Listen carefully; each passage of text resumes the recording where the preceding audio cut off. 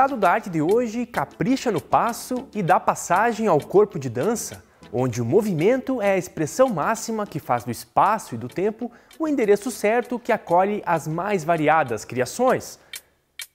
E se falamos das possibilidades criativas vindas desse universo que a dança, o destino de hoje é parada obrigatória quando o assunto passa pelas dinâmicas do movimento. Então, sigam no tempo com a gente, porque a partir de agora nós vamos pegar todos os passos com a Casa Hoffman, que é o Centro de Estudos do Movimento.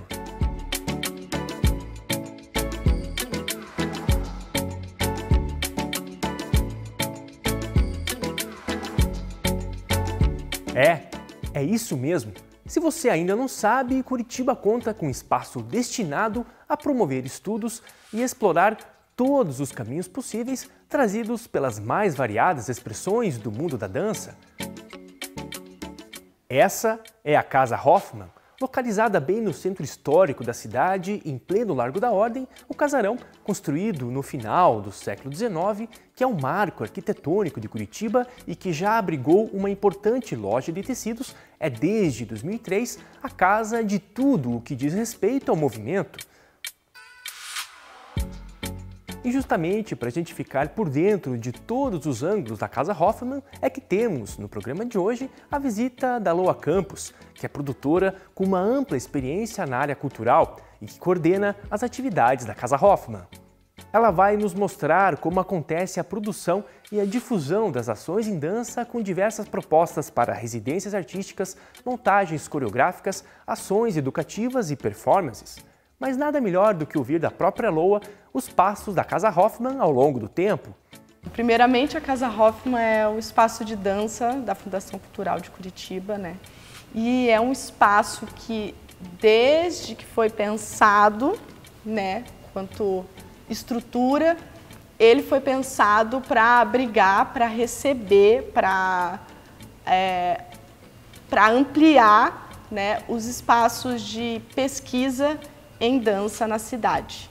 Sobretudo, ele é um espaço que possibilita o que um artista deseja de imersão, é, de experimentação, né, de criação em dança. Né? Sempre é importante lembrar que a Casa Hoffman é a sede da coordenação de dança da Fundação Cultural de Curitiba, com a gestão do ICAC, o Instituto Curitiba de Arte e Cultura. E a Loa conta mais para a gente de como o espaço está preparado para receber as mais distintas propostas. A Casa Hoffman ela não tem um programa fixo ou um formato fixo para receber ou propor atividades. Né? Então, o que a gente trabalha é por demanda, assim, o que vem de, de ideias propostas dos artistas, né? Então, a gente tem é, propostas que são mais longas, como residências, então são imersivas, você fica uma semana, duas semanas aqui. É, também tem workshops mais curtos, de um dia, dois, é, palestras, hum, oficinas que é, por vezes acontecem durante duas vezes por semana ao longo de dois meses. Né? Então elas são pontuais de alguma maneira, porque não são permanentes, né?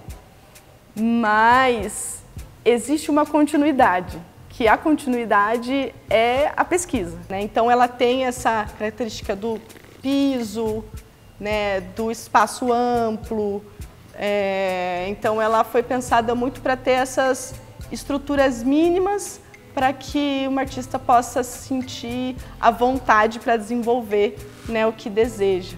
Além de ser a casa de muitos profissionais da área da dança, mas também do teatro, do circo, das artes visuais e cênicas, assim como a área da educação, que buscam na dança um caminho de formação e desenvolvimento, a Casa Hoffman atua dentro de quatro linhas principais. Então, a gente pode partir assim do que, como a Casa Hoffman funciona na programação, que são quatro linhas. Né? Uma delas são os editais. Hoje a gente tem o edital solar, que, que é via fundo, então o caminho é, abre o edital, as pessoas é, fazem sua inscrição, fazem sua proposta, tem uma seleção, né, e dependendo do ano tem cinco ou seis ou quatro vagas para esses projetos serem desenvolvidos. Então é uma verba direta.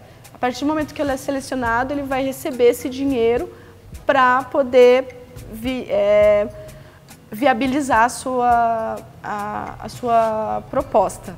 Né?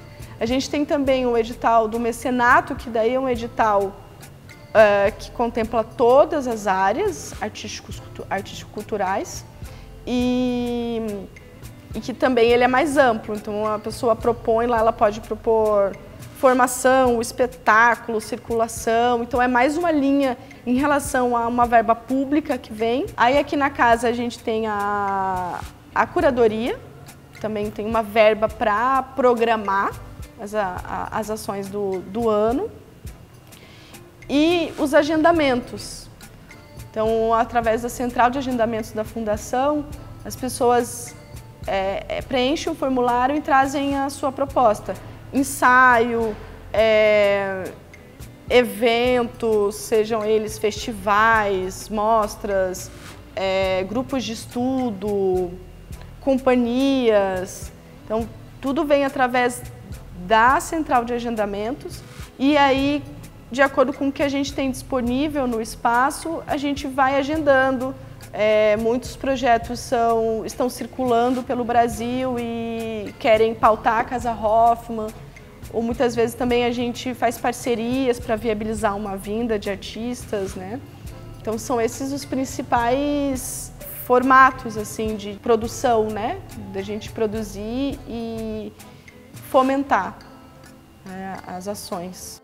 A Mostra Solar é um bom exemplo de um edital do Fundo Municipal da Lei de Incentivo que propõe uma residência artística onde o tempo é o maior aliado da performance. A Mostra Solar é um bom exemplo mesmo. Ela é o nosso principal evento.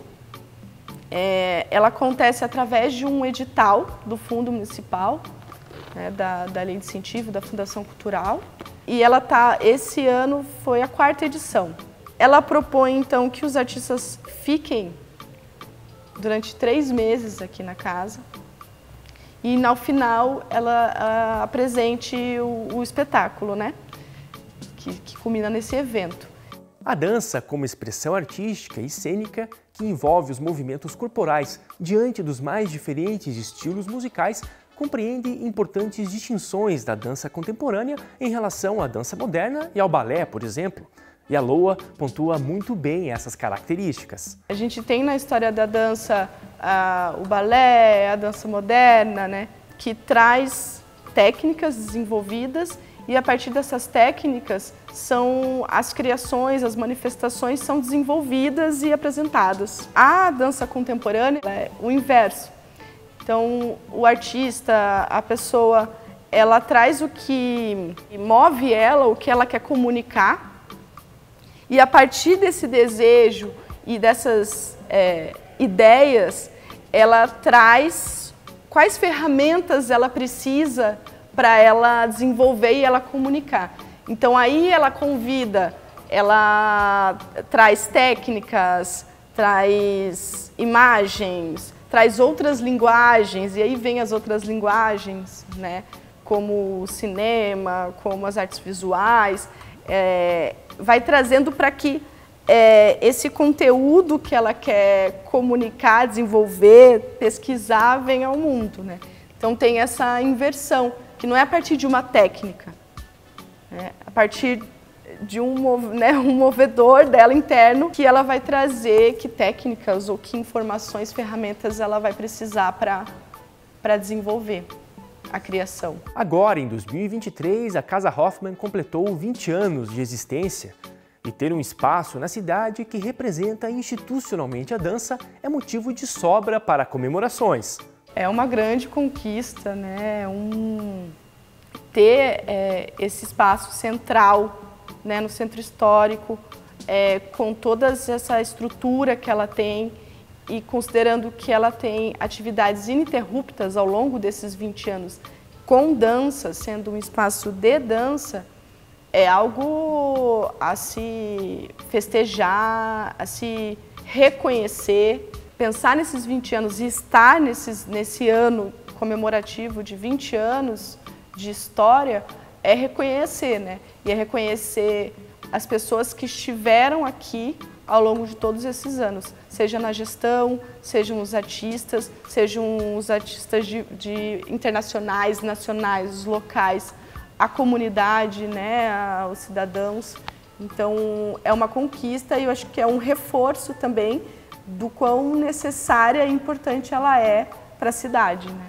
Não só para a cidade, mas são poucos os espaços que a gente tem no Brasil, é, espaços públicos, que sejam dedicados à pesquisa em dança. E vocês? O que acharam do nosso passeio de hoje pelos caminhos do movimento trazidos pela Casa Hoffman? Diz aqui pra gente nos comentários. O Estado da Arte vai ficando por aqui e até a próxima!